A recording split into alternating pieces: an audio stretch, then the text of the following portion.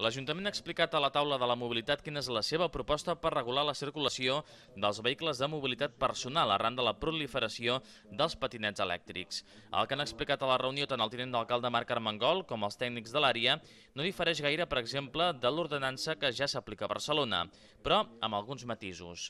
A Terrassa, els patinets elèctrics veurien restringida la seva circulació als carrers de les zones 30, als carrils bici, sigui en vorera o en calçada, i als carrers de plataforma única, on els vianants tenen prioritat. Per tant, per on tindrien prohibit el pas seria per les calçades de les vies principals i per les voreres, a diferència de Barcelona, on sí ho poden fer per les que tenen més de 3 metres d'amplada. Els carrers de barri on està planejada la implantació de la zona 30 tampoc hi podran circular fins que senyalitzi de forma definitiva. Un cas a part són les illes de Vianants. En aquests carrers, l'ordenança preveu que cada zona s'adapti a les seves característiques, però com a norma general estableix que la mobilitat dels patinets elèctrics s'equipari a la de les bicicletes. És a dir, que vagin a la velocitat dels vianants i a un metre i mig de distància d'ells i les façanes. Les sancions encara s'han de proposar.